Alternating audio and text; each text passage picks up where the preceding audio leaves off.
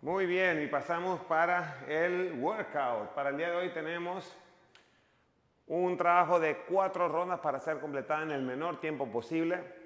Tenemos como tiempo límite para completar esas cuatro rondas 18 minutos. ¿Ok? Un tiempo objetivo de 13 a 15 minutos. ¿Ok?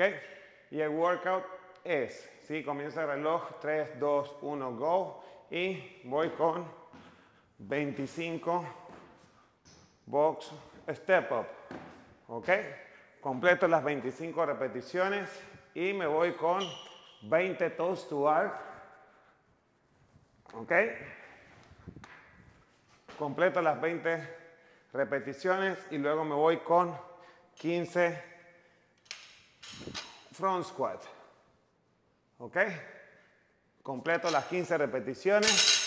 Se fue la primera ronda y voy para la segunda. Ahora, veamos también ejercicios con, el que podemos sustituir los toes to bar y un poco la estrategia. En los 25 step up, sin prisa pero sin pausa. ¿sí?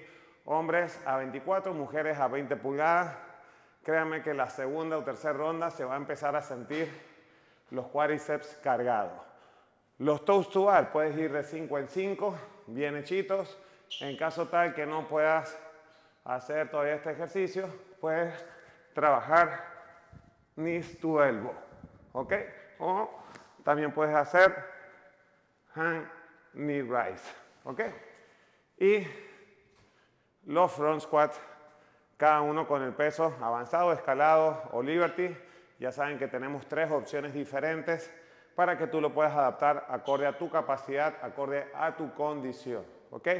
Vamos a buscar movernos, vamos a buscar ser consistentes en este, en este workout. En los front squat no es un front squat pesado, entonces vamos a tratar de que si tomamos la barra, completamos las 15 repeticiones una vez. ¿Ok? Pongan sus tiempos y a divertirse.